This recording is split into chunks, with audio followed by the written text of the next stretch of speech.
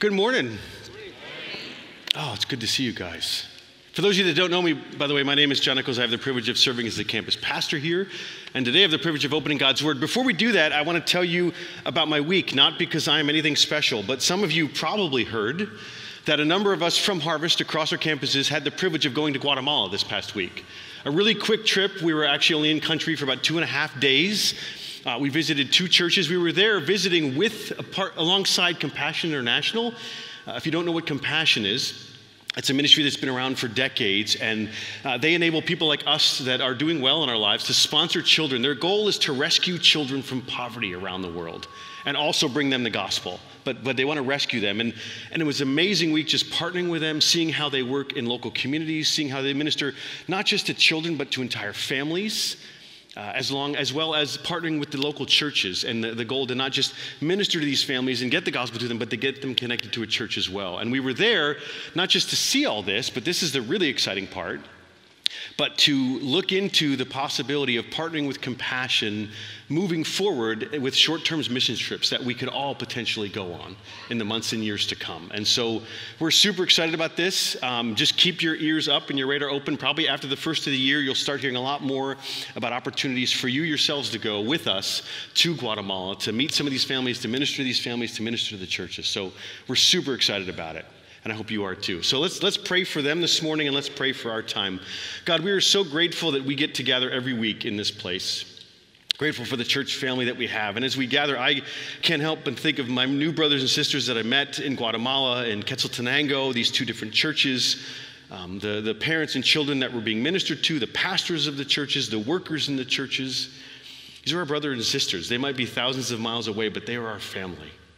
We might not even know all their names, but they are our family. And they themselves are gathering this morning, pastors to preach your word, people to worship your son. And this ministry of compassion is partnering with the churches to reach people with the gospel as well. While they rescue these children from poverty, they want to reach them with the gospel and God. So we pray a couple of things this morning that you would you would just continue to raise up support for compassion. There are not only thousands of children in Guatemala, there are tens of thousands of children around the world, hundreds of thousands of children in poverty. Would you raise up the people to give the money that these children could be rescued, that their lives could be forever transformed? And, and, and, not just by the money, but mostly by the gospel. But they would be children who grow up as the, the young girls we heard about at the end of the week who had graduated from the program, who had found Christ in the program, and now themselves are young adults with college degrees going to live a life as children of God because of compassion.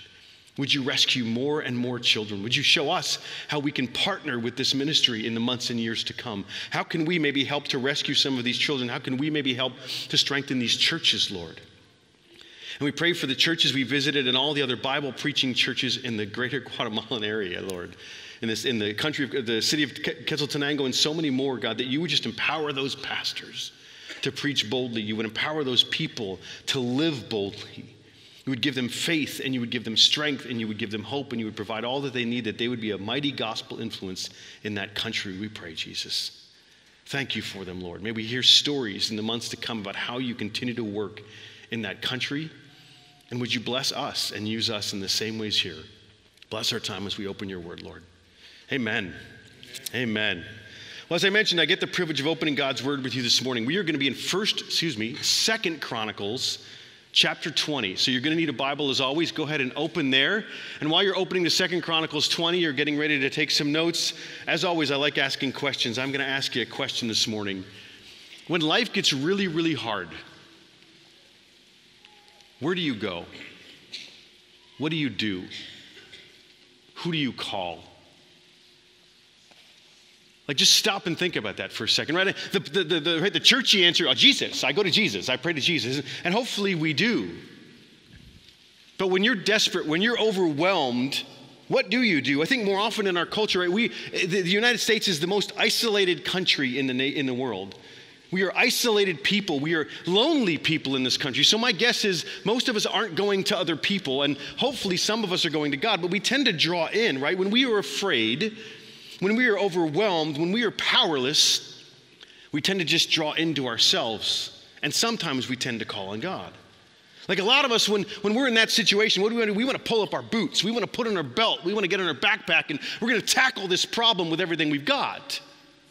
And then there's some of us who are going to the moment we're overwhelmed, the moment we're afraid, we're going to drop to our knees and we're going to pray. And my guess is yes, there's some here, and there's some maybe even more here, but we're all probably somewhere in the middle. I'm asking this question because our text, our text this morning demonstrates to us, right? What, what should our lives look like when we are desperate? What should our prayer lives look like when we are desperate? We're in Second Chronicles 20, right? Jehoshaphat, we're going to learn, he is the leader of Judah. We're long past David and Solomon and all that. The kingdom of Israel has split into two. You have the northern kingdom of Israel, the southern kingdom of Judah, and Jehoshaphat is the king of Judah. And both Israel and Judah would fall in and out of faithfulness to the Lord. Judah would tend to be more faithful over the times, but they would fall in and out of faithfulness to the Lord. And Jehoshaphat was a faithful king. He was steering the people back to the Lord. But Judah and Israel, now that they were split, they were also a lot more vulnerable. The surrounding nations, some of them they had kind of upset or didn't like them, were now like, hey, these guys aren't as strong as they used to be. Maybe it's time we come after them. They weren't nearly as safe. And Judah, as we're going to see in this context, has armies marching against them. Armies too great for them to defeat. In, in the situation we're going to read, they are desperate. And we're going to learn from them what they did and how they approached the Lord, right? So that hopefully we can think about when our life, when our circumstances are not right, when our relationships are not right, when our finances are not right, when maybe something in our family or our job or our health are not right, when we are in the hard seasons of life, when we feel desperate or afraid or overwhelmed, what do we do? How should we maybe approach God? That's what we're going to learn here this morning. Three things we're going to learn, three things they're going to demonstrate for us, and we're going to just jump right in. The first thing is simply this when you're afraid, seek the Lord. I know that might sound simple, but let's actually take a look at what they do. When you're afraid, seek the Lord. Second Chronicles chapter 20, verse 1. After this, let me just say real quick um, simply talking about Jehoshaphat being a righteous king, he led the people in revival. He stirred them and helped lead them back to God. So he's saying, after Jehoshaphat had become king and led the people back to God and pointed them back to God and, and made all kinds of, of good, healthy changes spiritually to lead the people to God, after all of this, the Moabites and the Ammonites, and with them some of the Meunites, came against Jehoshaphat for battle. Some men came and told Jehoshaphat, A great multitude is coming against you from Edom, right? Huge group of people. From beyond the sea, and behold, they're in Hazazon Tamar, that is Engedi. So Jehoshaphat says, King, here comes this huge army, right? Here comes his response. Then Jehoshaphat was what? He was afraid. And set his face to seek the Lord, right? When you're afraid, you seek the Lord. And in the Hebrew, this, this phrase, seek the Lord, is painting a picture of prayer and worship. Jehoshaphat is afraid. What does he do? He seeks the Lord. He's not this guy over here pulling up his boots saying, Hey, we're Israel. We're, we're Judah. We're mighty. We're God's people. We can do this. He says, No, no, no. I'm afraid. I'm going to actually get on my knees over here. I'm going to worship. I'm going to praise. I'm going to give glory. I'm going to seek God. I'm going to call out to him. He lived out the sermon that Pastor Jeff preached last Sunday. If you weren't here, great message on Philippians 4, right? Do not be anxious about anything, but in everything by prayer and supplication with thanksgiving, make your requests known to God. When you're afraid, seek God. When you're afraid, get before God with prayers and petitions and thanksgiving and make your requests known. And that's what Jehoshaphat did.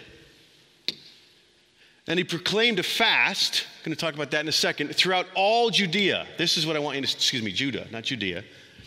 And Judah assembled, they all came together to seek what? What? To seek help from the Lord.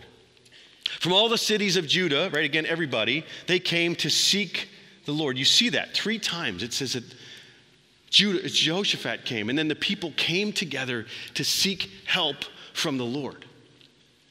They came to pray and to worship, and now also to fast. Jehoshaphat has declared a fast. If you're not familiar with fasting, it's something that's done quite a lot throughout the Old Testament. Simple definition of fasting would be this it's, it's going without food in order to seek God for some special reason. Right? Something really, really big has come up. God, I know I'm praying a lot, but this thing right now, this is really important. This is like I need you now more than ever. It's usually when you see fasting come across. Like I said, it's used throughout the Old Testament. A, a very well known story is in, in the book of Esther. Right? Queen Esther, a Jewish woman, has to approach the king because the king had made a decree uh, to kill all the Jewish people. And she, she tells the remainder of the Jewish people listen, I'm going to go into the king, but, but if, you, if you go into the king's presence without being asked, you get killed.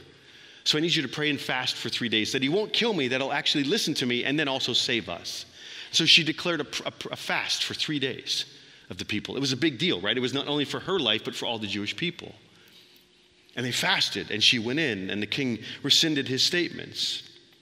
In the book of Ezra, we read, um, they were, the, this is again, even after what we're reading now, Israel had been sent into captivity, and now they're returning to Jerusalem. Ezra's leading the way, and there's no army, there's nobody to protect them. And what does Ezra do? It says this in the book of Ezra, chapter 8. Then I proclaimed a fast there at the river Ahava, that we might humble ourselves before our God to seek from him a safe journey for ourselves, our children, and all our goods. So fasting is something done, and he called the whole nation because this was a big deal. It was urgent.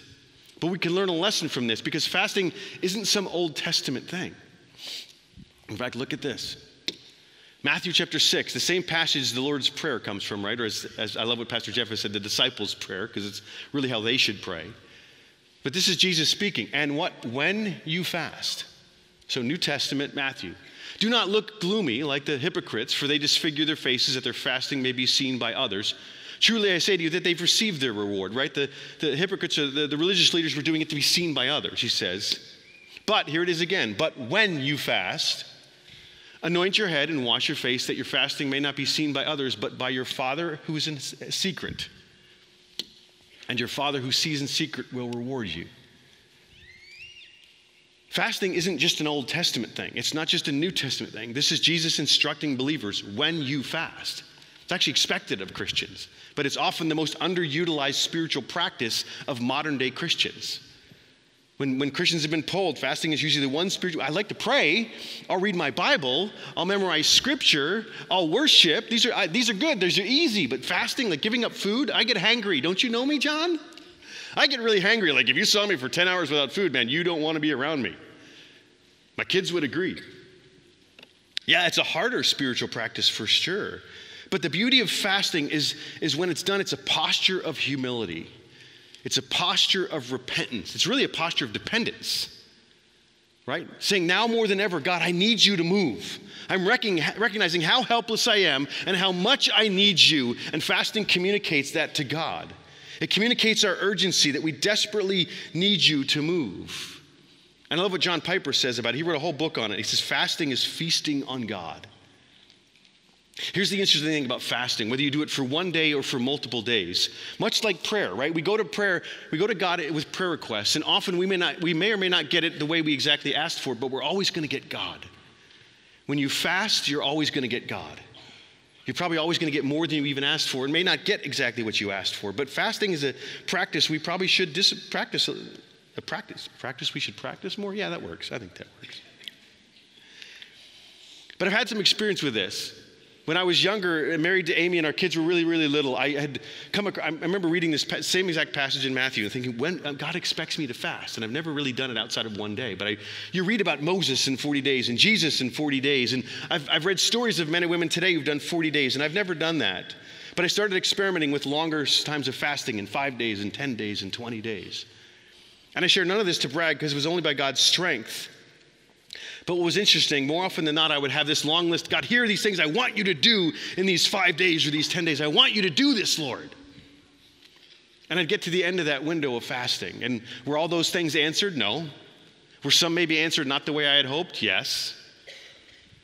But did I get far more of God than I ever thought I would get in those five or 10 days? Yes. Did, did God surprise me by doing a whole bunch of things I wasn't even asking for, but He knew I wanted? Yes. There's something about fasting that we miss out when we don't come together and fast and pray. It's just something I want to encourage us to think about, right? There's a reason why they would fast in the Old Testament when something was that important. What things maybe do we not experience in life because we don't express that urgency to the Lord? Something else I want us to see to go back to this, right? When he proclaimed the fast throughout all Judah, Judah assembled to seek help from the Lord. They all came together to do this. So, as we talk about when you're afraid, seek the Lord. Yes, seek the Lord in prayer and fasting. But seek the Lord together. When you're afraid, seek the Lord together in prayer and fasting, is really what we're getting after. They did this together. What's your default when you're afraid? And more often than not, it's to not tell anybody. We don't want to be embarrassed. We don't want to be ashamed, right? To draw into ourselves and tell nobody when we're afraid, when we're overwhelmed, whatever it might be.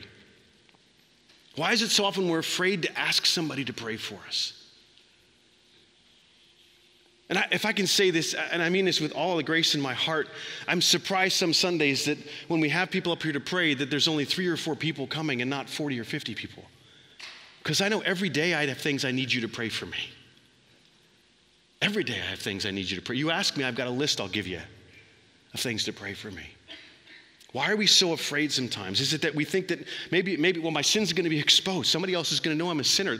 By the way, the people you're talking to are sinners. I'm standing here before you as an absolute mess. Only by the grace of God am I, am I, am I am what I am. Only by the grace of God. Without God, I would be a selfish, arrogant person you would probably not like. But through the prayers of others and through the work of God, we're all a bit of a mess on the inside. Don't ever be afraid of being exposed. Or maybe I'm, I'm embarrassed because I have to ask for help. We all need it. It's whether or not we have the humility to ask for it. Sorry to break the news to you this morning, but you need help. Every one of you. As somebody who, who needs it daily, we need the help of God every single day in our lives. We may not be in a desperate season, but you still need His help every single day of your life. And to go up and to say, hey, would you pray for me? I'm facing this today. I'm overwhelmed today. Hey, I got a hard decision to make. Hey, we're in the middle of this season today. Would you pray for me? I will say this, guys. As much as I might have said, I, I wish more were coming here. One of the things I love about our campus, I do love this. Most Sundays, when I get, I don't usually get out there for 20 or 30 minutes until after the service is done. And so many of you are still there, and so many of you are praying for one another. Don't stop doing that. Keep asking each other for prayer. You don't have to know anybody. Just walk up to them and say, Hey, I'm a brother in Christ. Can you pray for me? I'm a sister in Christ. Can you pray for me? This is what's going on in my life. I love that we do that. Don't ever let being exposed or being embarrassed keep you from asking for prayer. And for those of us that are a little bit prideful, get over it. Admit it right now. Say to yourself, I need help. I need God's help every day, and I need my brothers and sisters to pray for me. We're missing out when we don't do that. And if you want to try to argue with me, I'd say go read Acts 1 through 5. Read the whole book of Acts. Over and over and over again, you will see examples of the church praying together. In fact, here's the first, I don't have it on the TV, but listen, Acts chapter 2, the first description of the church, the actual church as it's being formed. Acts chapter 2 says this, and they devoted themselves to the apostles' teaching and the fellowship, to the breaking of bread and the prayers together. This was in homes. Together, they prayed together all the time. Acts 1, Acts 2, Acts 3, Acts 4, you're going to read of them coming together for prayer. It wasn't the, the, the, the, exception, it was the norm. Praying together was the default of the, first, of the first century church.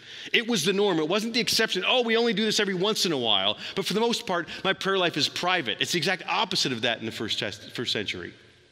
Yeah, they had private prayer lives, but praying together was the norm. And in fact, there's certain things that won't happen unless we pray together.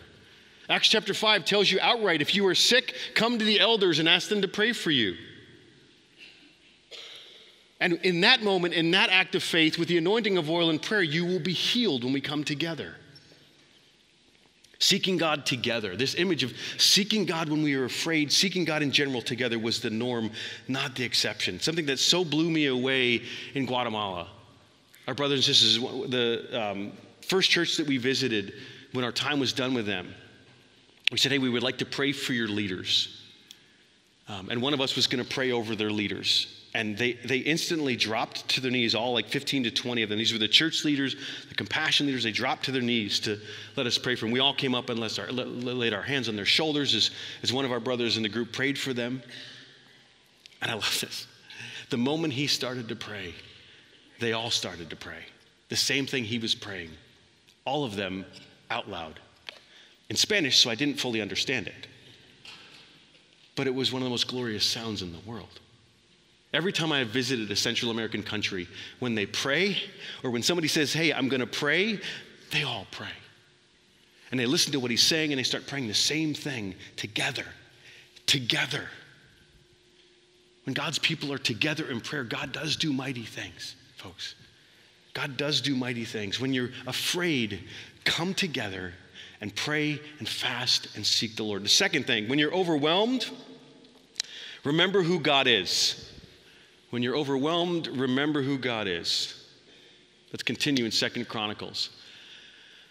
And Jehoshaphat stood in the assembly of Judah in Jerusalem, in the house of the Lord before the new court, and he said, O Lord God of our fathers, I love this.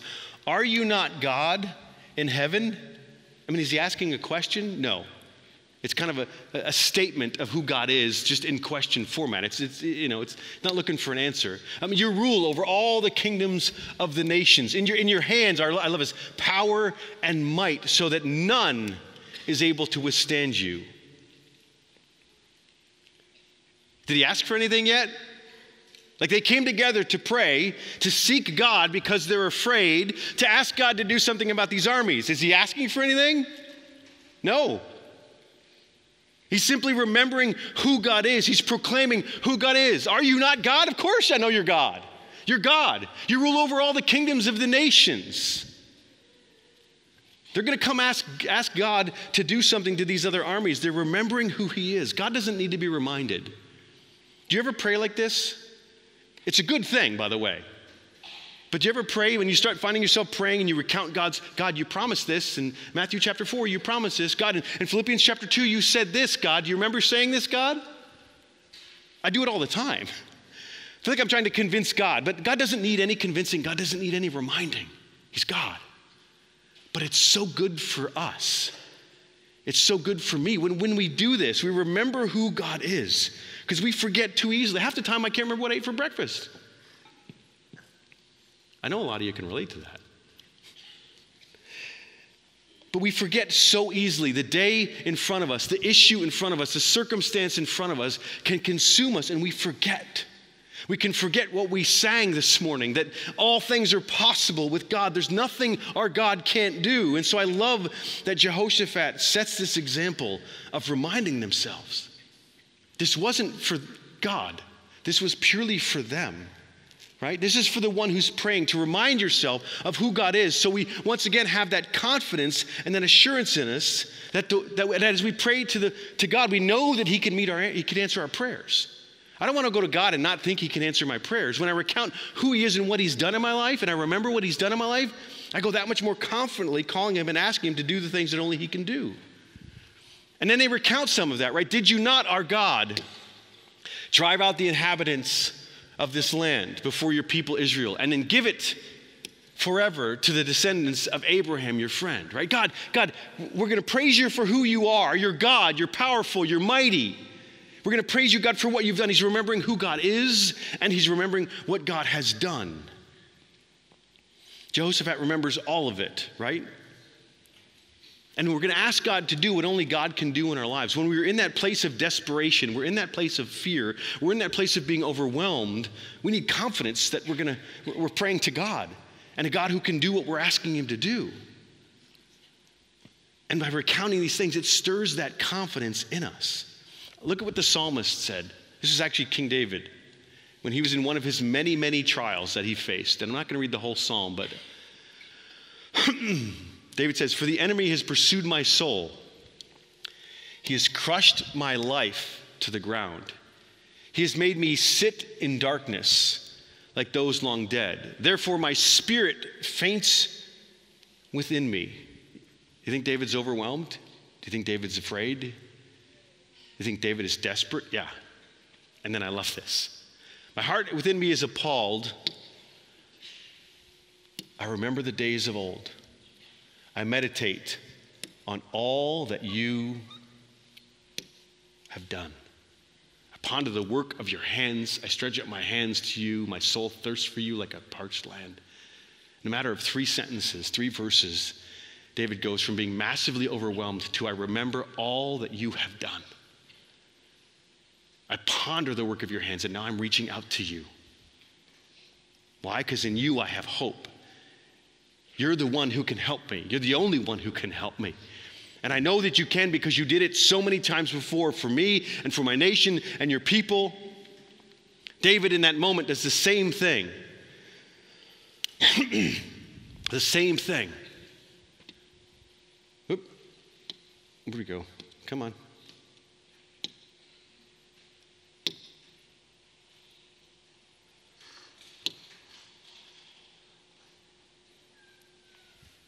All right. Sorry. Um, yeah, here we are. And so even Jehoshaphat continues to go on, right, recounting what's gone on and what's happened. He's praised God for who he is. He's prayed God for what he's done. And He goes on. He says, And they have lived in it and have built for you in it a sanctuary for your name, right? This is what Israel did. You gave us this land. We built for you this sanctuary. And I love this. If disaster comes upon us, the sword, judgment, or pestilence or famine, you think if all these things right here, right, are going to make you overwhelmed? Yeah.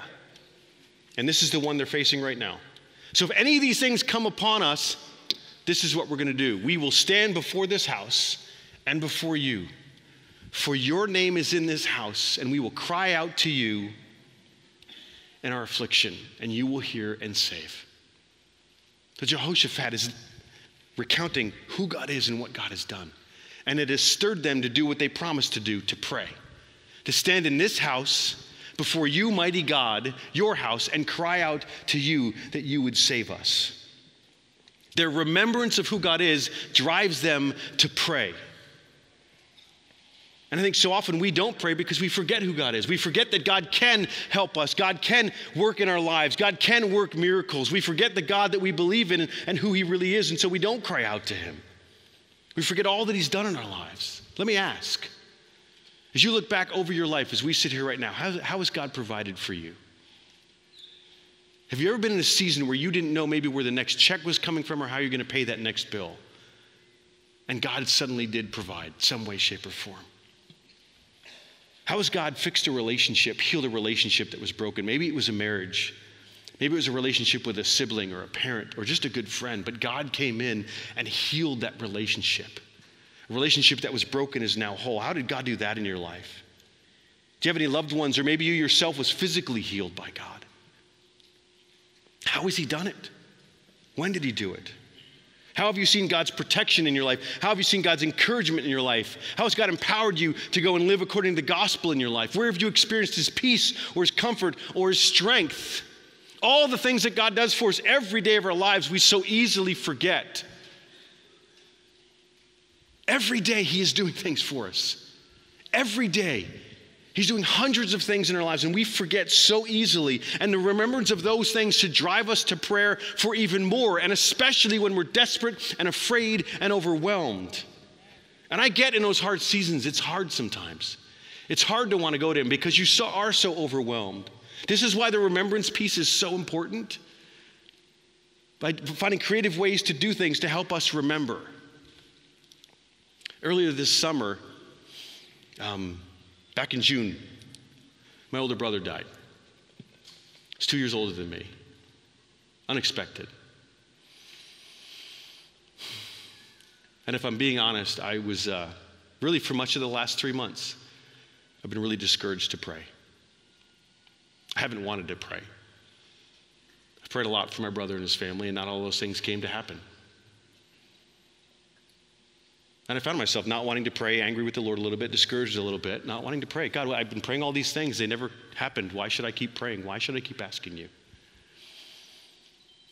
And what has helped me more than I ever thought would help me, in our house, we have two things. One, I think I've told you about. It's a, it's a big ball jar, glass ball jar, about this big on a counter. And seven, eight years ago, Amy and I set this up, and we would, when God would answer a prayer, like it was a God prayer. It wasn't like God, heal my son's broken leg. Well, that's going to heal. But God, you, you have to do this. You have to show up. We would fill out a little note card and we would throw it in the jar. So this jar is about halfway full of moments in our lives in the last seven years when God answered prayer. I didn't want to pray this summer, but I would walk by and I'd sit down and I'd see that jar. And I'd be reminded that God answers prayer. Maybe not always the way I want or always in my timing, but He answers prayer. And then I'd, I'd go and sit in our dining room, which is two rooms this way, so I'm going to walk like it is. But um, we have this four foot by four foot picture of a cow. It's a long story why it's there, but it's a remembrance of God answering another really huge prayer for us.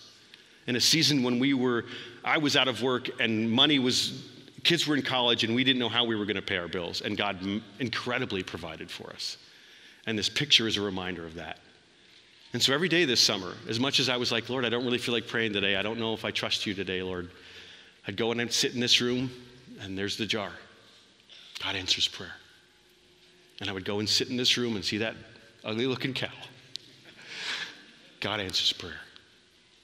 And it would remind me every day. I couldn't not be reminded that God answers prayer. And it, it's one of the main reasons that I came back to starting to pray again and being encouraged to pray again because I was reminded over and over again. And the other thing that helped me was coming here every Sunday together to be reminded of who our God is through song, through word, through you, right? Who God is, why we desperately need this together. Some of us want our lives to be so alone and so isolated and carry our burdens, and we don't want to tell anybody, and that's not the way God set it up.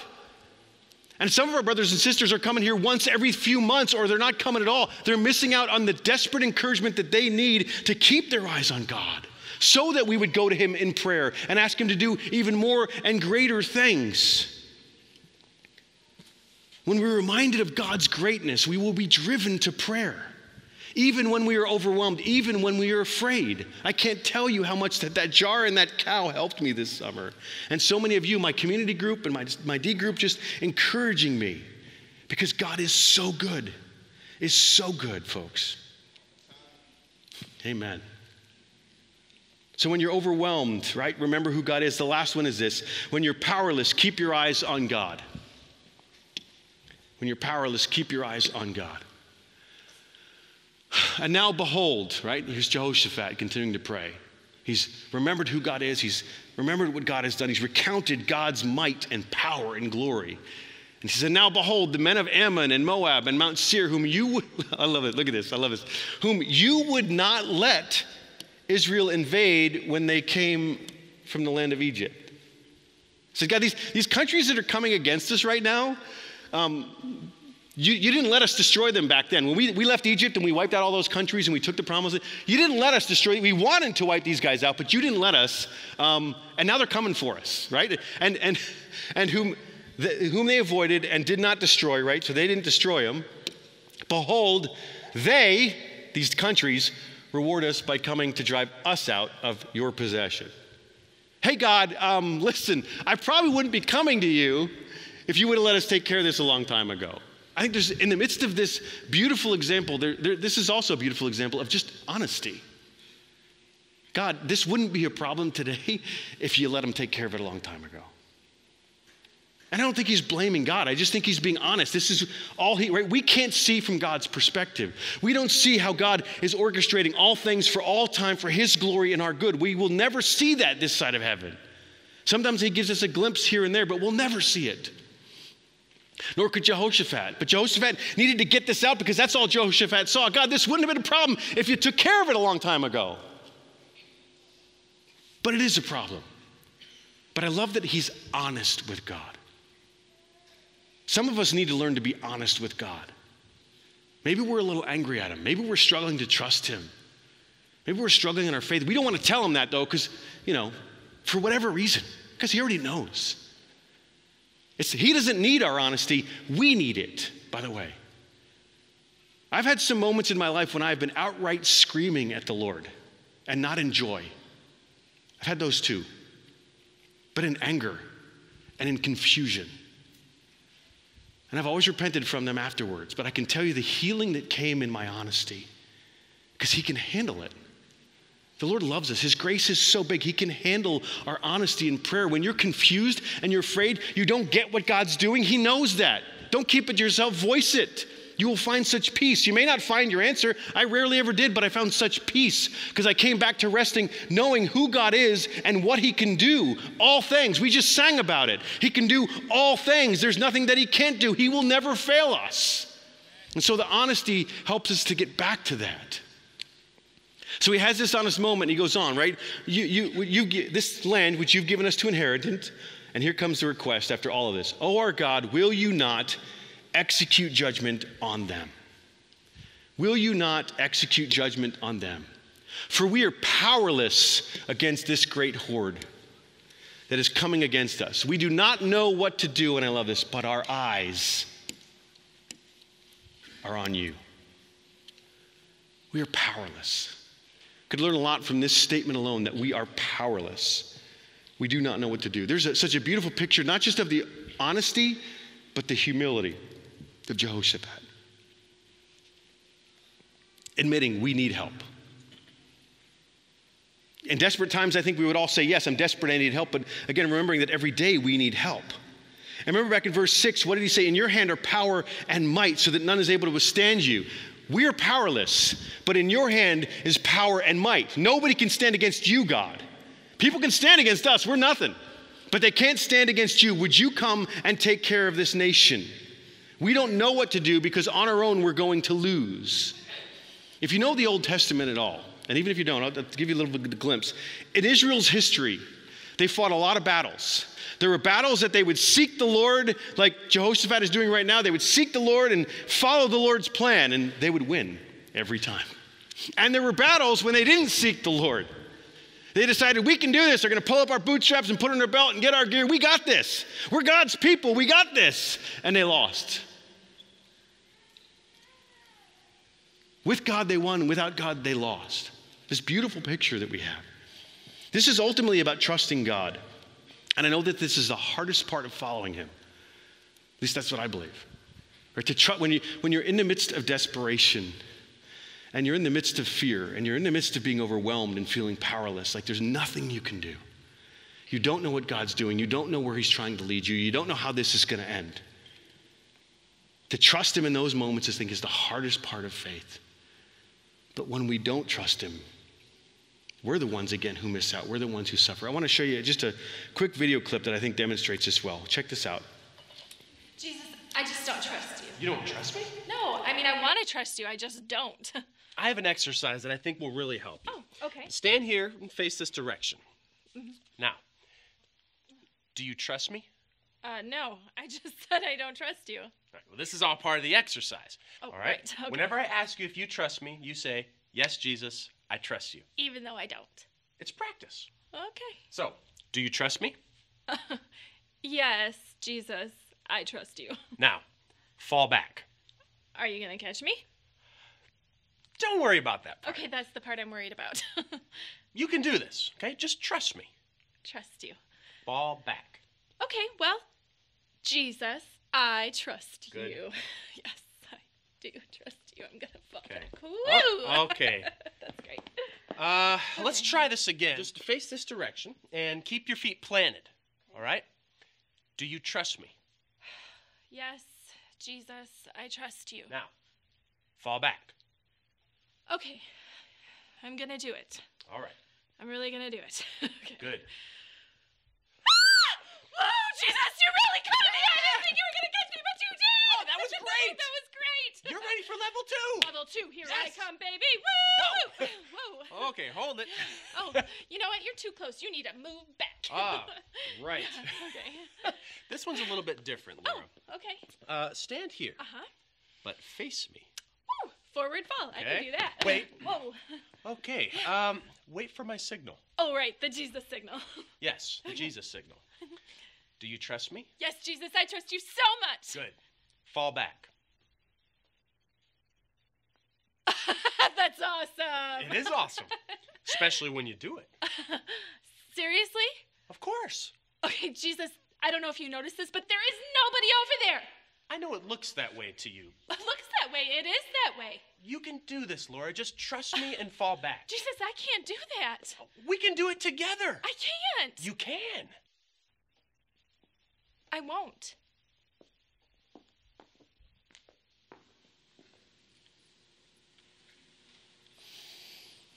How many of us have been in those moments, right?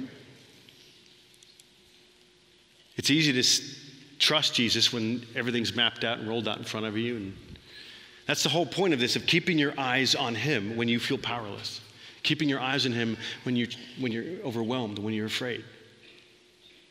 But the moment's going to come and has come for many of us and will come many more times probably in our lives when we will have to choose to trust Him when we don't know what's next. We, like that woman, can look back, there's nothing there. And I love his response. because Well, I, it, you know, she says, There's nothing there. And he's like, But, but it, it looks that way. And we know, again, videos and illustrations always fall short on some level because we know that God is with us and God is in all places and God is all around us. Scripture tells us that. Because we just got done singing about a God who won't fail us. Do you believe that? We just got done singing about a God who can do all things. Do you believe, when you go to Him in prayer, do you believe He can heal you or heal your loved one? Do you believe He can provide for you? Do you believe it? Do you believe that He can fix your marriage or whatever relationship you're going and crying out to Him to fix? I hope so. Because that's really what it's going to take is our trust and our faith to really believe it and to not walk away and say, Well, God, I don't trust you. I'm going to go try to do it myself. It will not work. Let me just let you know a little secret. If you're going it your own way, you may get the things you're going for, but your life isn't going to work. And it's not that Jesus is some kind of Mr. Fix It. He's God over all, He's majesty over all, right? He's the only one that can save us and change us and transform us.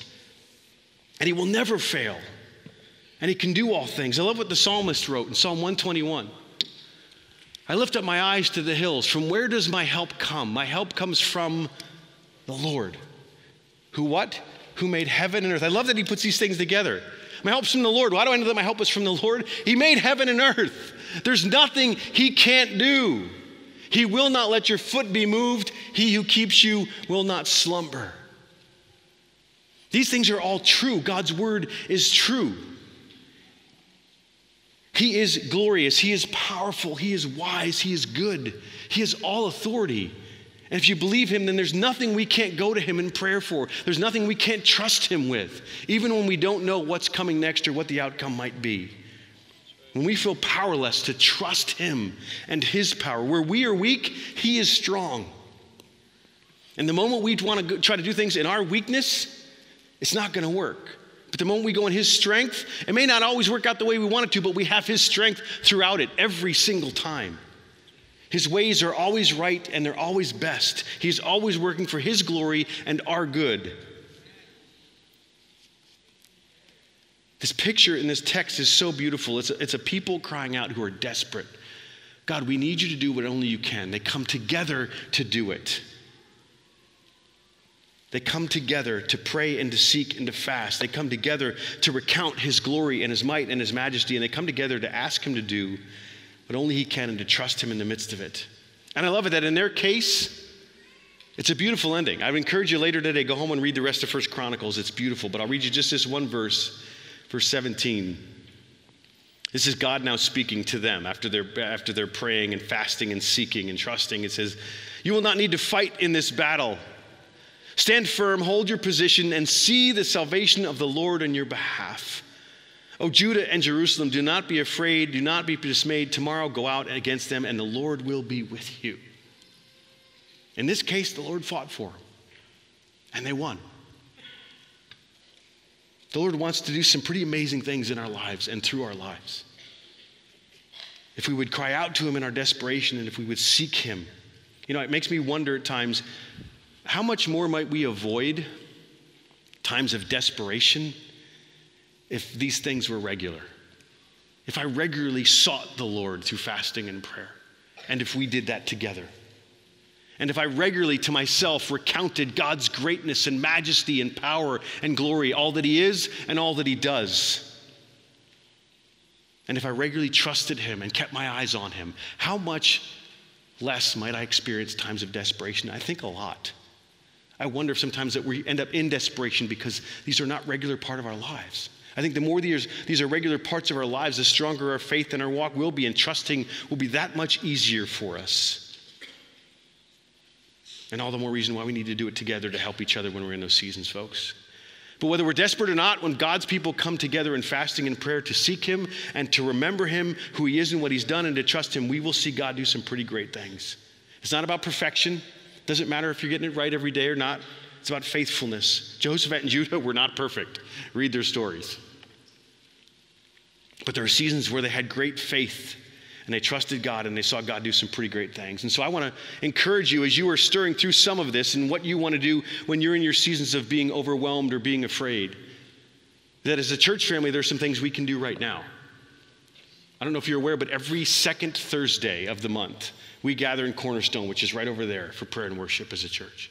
We are calling on God to do what only He can do in our lives and in our church and in our community and in our country. We're asking God to do what only He can do. Together, we're seeking God. We're crying out to God. And this week, I'd even encourage you if you want to try it, try fasting Wednesday to Thursday. Have dinner Wednesday night.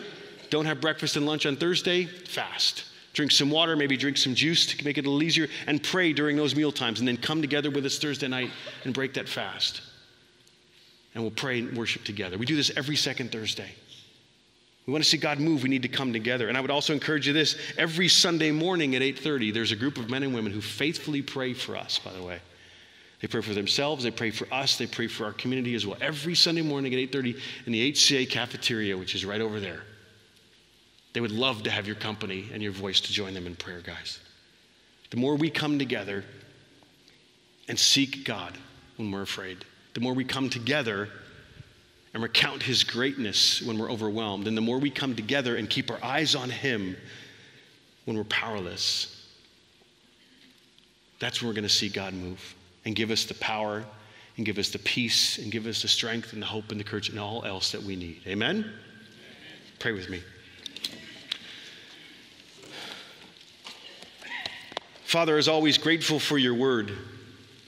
Grateful for the reminders this morning, really more than anything, of your greatness, of your power, of your might, of your majesty. You are a great and awesome God. You are worthy of our praise. You are worthy of our obedience and our faithfulness. You are creator of all things, sovereign over all things, sustainer of life. You are the Savior for those who would call on Christ. And in saving us, God, you redeem us and you sanctify us and you justify us. You save us and forgive us and so much more. You seal us for all eternity as your children, adopting us, making us your very own. You're a God who never fails and a God who can do all things, and we give you praise and honor and glory. God, even as we recount these things, might we be encouraged to go and be people of prayer. Help us every day, God, to see all the ways that you provide, all the ways that you protect, all the ways that you care. Help us to remember as we read your word in the mornings and we sing songs on the radio as we drive about you, God, to be reminded of your greatness and, and that we be driven to pray, knowing that you're a God who hears our prayers and you answer our prayers every time. We are so thankful for your great for, for all that you do, for your faithfulness, for your goodness. We're thankful that you are always working for your glory and our good. You always know what is right and best. Stir our hearts to pray, God. And I pray especially for those that are in seasons right now of feeling desperate, of feeling afraid, of feeling overwhelmed and powerless, God. Would they know your power? Would they know your strength? Would they know your hope? Would they know your peace? Would they know your encouragement and your love and your grace and your mercy and so much more, God? Stir our hearts to pray, Jesus, I ask. Stir our hearts to pray. Amen.